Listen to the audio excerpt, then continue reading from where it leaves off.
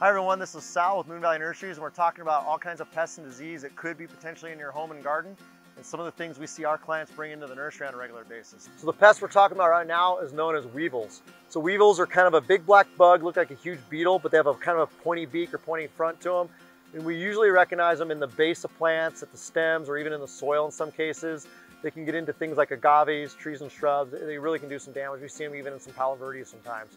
So if we happen to know that these are getting in there, they can do a lot of damage in a hurry and they can really spread into a lot of other plants in a hurry. So we want to do our best to get them treated as quick as we can. So if you think you have them, get some samples, bring some pictures. If you can, capture the pest, bring it in.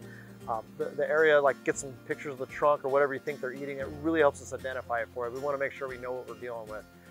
Once we think we know what we're dealing with, or we have proven that we know what we're dealing with, we want to go ahead and treat for it.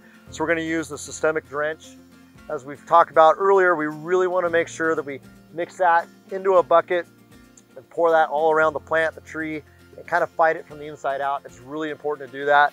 The other thing we like to do is use triple action and kind of coat that guy.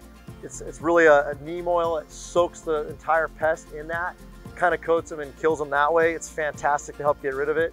And then we want to go through your watering and your fertilizing program with you. So we're going to start off with your watering. If we're watering regularly, if we're fertilizing regularly, and our plants tend to be a little healthier, a little stronger, they're a little less likely to get eaten up by these guys. So my number one recommendation from a preventative maintenance is really just keep your plants trimmed right, fed right, fertilized right. Let's keep them happy, let's keep them healthy.